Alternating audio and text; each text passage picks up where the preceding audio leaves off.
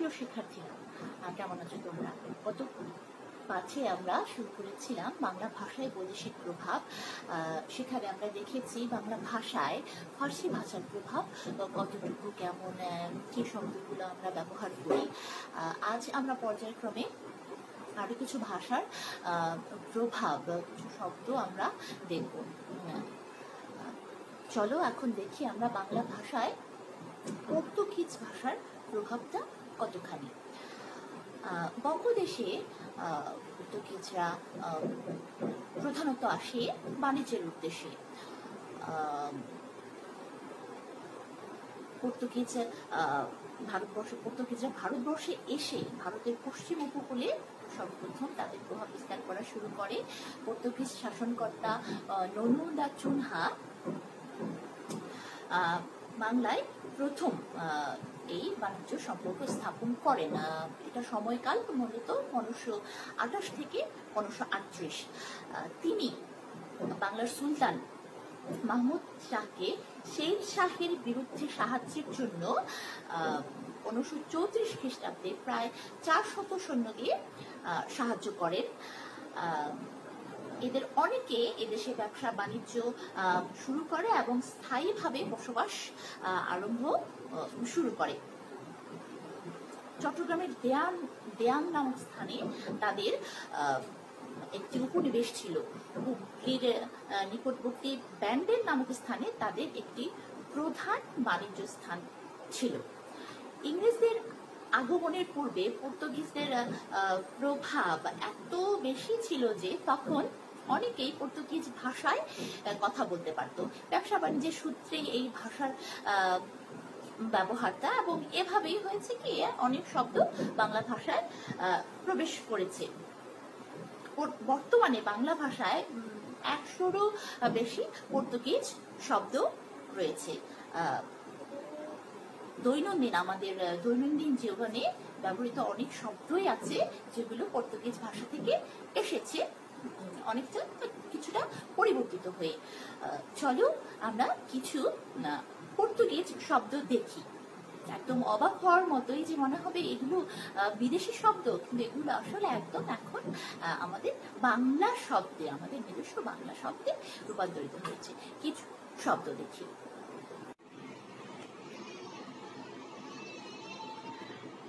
যেমন, আনারস, আলকাত্রা, আলপিন ইস্পাত, কপি, কামরা, গামলা, গুদাম, গড়াদে, চাবি, জানালা, চৌকা, তোলা। তোলাহাড়ি হিসেবে নিলাম, নোনা, পাও।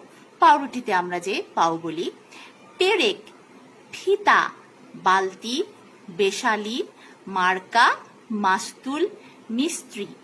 সুরতি, জ্বালা ইত্যাদি অনেক শব্দ পর্তুগিজ ভাষা থেকে আমাদের বাংলায় পরিবর্তিত হয়ে একদম আমাদের বাংলা শব্দে রূপান্তরিত হয়েছে।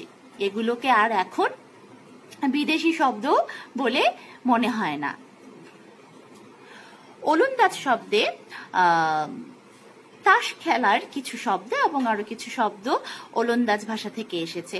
যেমন হরতন রুইতন, ইস্কাপন তুরুপ স্ক্রুপ গাড়ির বোম, পিসপাস ইত্যাদি। ফরাসি কিছু শব্দও আমাদের বাংলা ভাষায় গৃহীত হয়েছে। যেমন, কার্তুজ, ওলন্দাজ, দিনেমার, আলেমানে, ইংরেজ, কুপন, ডিপো, রেস্তোরাঁ ইত্যাদি অনেক শব্দ ফরাসি ভাষা থেকে আমাদের বাংলা ভাষায় এসেছে।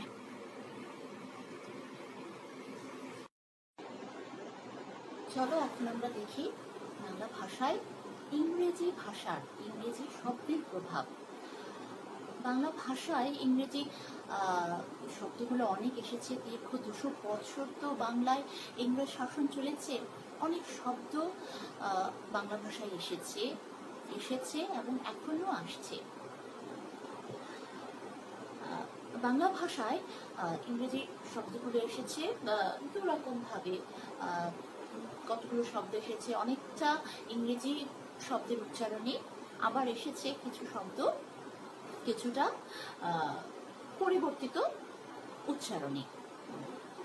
আমরা কিছু শব্দ দেখি অনেকটা ইংরেজি উচ্চারণে এবং পরিবর্তিত উচ্চারণে পরিবর্তিত উচ্চারণে কেমন শব্দগুলো এসেছে।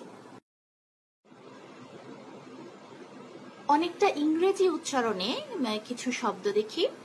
University, union, college, tin, novel, powder, pencil, football, school ইত্যাদি। এই শব্দগুলো ইংরেজি উচ্চারণের মতো করেই আমরা ব্যবহার করি। পরিবর্তিত উচ্চারণে যেমন আফিম, অফিস, বাক্স, হাসপাতাল, হসপিটাল হয়ে হসপিটাল ইংরেজিতে আমরা বলি হাসপাতাল। বোতল, এরকম অনেক শব্দই পরিবর্তিত উচ্চারণে বাংলায় ব্যবহৃত হয়। নানা দেশের শব্দ রয়েছে যেগুলো হচ্ছে প্রথমে ইংরেজি শব্দে গৃহীত হয়ে পরে ইংরেজি শব্দরূপে আমাদের বাংলায় ব্যবহৃত হয়। যেমন জেব্রা শব্দটির এটার উৎসভূমি এই শব্দটির দক্ষিণ আফ্রিকার এটি ইংরেজি হিসেবে প্রথমে ইংরেজি শব্দে গৃহীত হয়ে পরে বাংলায় আমরা জেব্রাকে জেব্রা বলেই জানি। অস্ট্রেলিয়ার একটি শব্দ সেটি হচ্ছে ক্যাঙ্গারু। এটি ইংরেজি শব্দরূপেই আমাদের বাংলায় এসেছে। কুইনাইন, এই শব্দটি উৎস পেরু। এটি ইংরেজিতে গৃহীত হয়েছে পরে আমাদের বাংলায় প্রবেশ করেছে। এরকম নানা শব্দ আছে যেগুলো প্রথমে ইংরেজি শব্দে গৃহীত হয়েছে, পরে ইংরেজি রূপে বাংলায় আমরা সেই শব্দগুলো ব্যবহার করছি। বাংলা ভাষায় ইংরেজি ভাষার থেকে ইংরেজি শব্দ যেমন অনেক এসেছে, ইংরেজি সাহিত্যের তথা পাশ্চাত্য সাহিত্যের কাঠামোর কিন্তু অনেক প্রভাব রয়েছে। মূলত বাংলা সাহিত্য আধুনিক বাংলা সাহিত্য, একদম নতুন রূপ প্রাপ্ত হয়েছে ইংরেজি সাহিত্য তথা পাশ্চাত্য সাহিত্যের প্রভাবে। বাংলা সাহিত্যের প্রাচীন এবং মধ্যযুগের নিদর্শনগুলো দেখলে বোঝা যায় যে তখন সাহিত্যের কাঠামো ছিল পুরোপুরি পদ্ম নির্ভর কোনো কাহিনীর হোক সেগুলো উপস্থাপিত হতো পদ্মের আকারে এবং তা ছিল ধর্ম নির্ভর আধুনিক বাংলা সাহিত্য, পাশ্চাত্য সাহিত্যের অনুকরণে একদম নতুন রূপ প্রাপ্ত হয়ে সেখানে জয়গান গাওয়া হলো মানবতার। মানুষ যেখানে ধর্ম নির্ভর সাহিত্য থেকে বের হয়ে আধুনিক সাহিত্যে বাংলা সাহিত্য ধারণ করল মানব জীবনকে যেখানে মানুষের জীবন ব্যক্তি জীবন হয়ে উঠল প্রধান উপজীব্য। কাঠামোগুলো যদি দেখি আমরা যে গল্প, ছোট গল্প বলো উপন্যাস, নাটক তারপর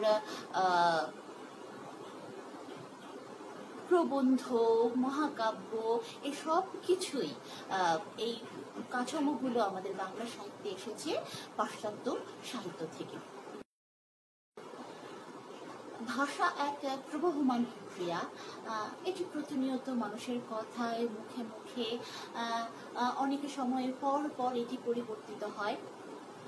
নিজেদের পরিবর্তিত হয়, অন্যান্য ভাষার প্রভাবও থাকে, নানা ভাষা।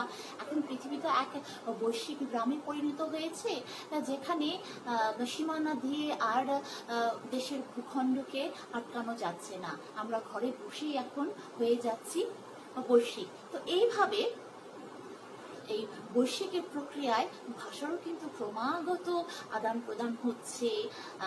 আমাদের দৈনন্দিন জীবনে বা কাজে আমরা নানাভাবেই নানা ভাষারও ব্যবহার করছি।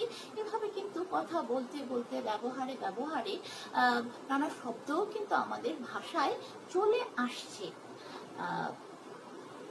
তা দিয়ে আমাদের ভাষাও সমৃদ্ধ হচ্ছে। আমাদের প্রয়োজনে আমরা সমৃদ্ধির জন্য আমরা এ ভাষা ব্যবহার করব, গ্রহণ করব। তবে অবশ্যই আমাদের প্রিয় ভাষা, আমাদের প্রাণের ভাষা বাংলাকে বর্জন করি নয়। আজ এ পর্যন্তই। ভালো থেকো তোমরা।